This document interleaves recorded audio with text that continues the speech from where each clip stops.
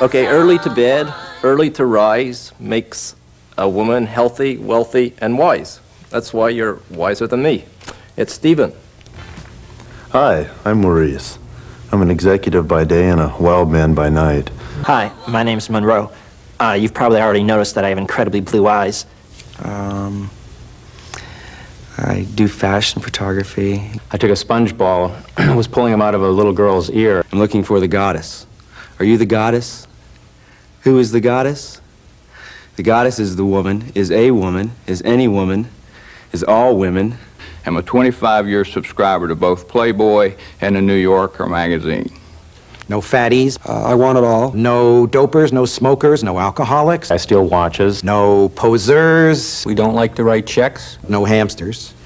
We don't like to take out the garbage. What I'm doing right now is making a movie about World War II. No Donna Juanitas. And I'm currently involved in cleaning up toxic waste.